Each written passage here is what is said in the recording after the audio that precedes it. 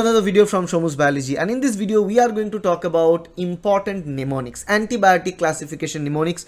I know uh, that you many of you may know the name of the antibiotics but if you struggle to find out and remember the name of antibiotics then this video is just for you because here we are going to talk about the different antibiotic classification and names and how to remember them with proper mnemonics. So start with this idea cats in California globe map. This is what you need to remember.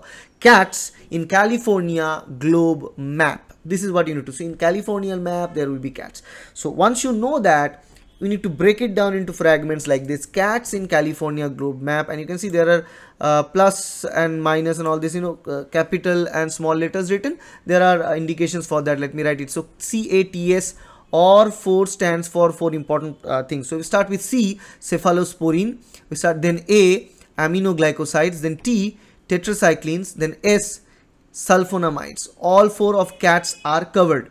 Now we'll go to California. we'll go with the C for California or CA for CA is one uh, antibiotic. Then L is for another and F is for another. So CA for carbapenems.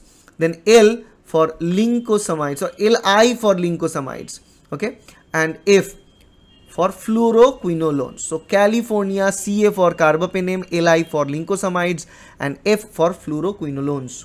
And then we have globe, uh, so then you have globe G for the one that we are going to see that we are going to talk about G for glycopeptides there. Then map M for or MA for macrolides and P capital P is there P for penicillins okay. So this is how we list cats in California globe map if you remember that you can clearly write all this 10 different types of antibiotics clearly carbapenems lincosamides fluoroquinolones cephalosporins aminoglycosides tetracyclines sulfonamides glycopeptides macrolides penicillins. Everything counted. But remember one thing starts with c that is cephalosporin a beta lactam antibiotic.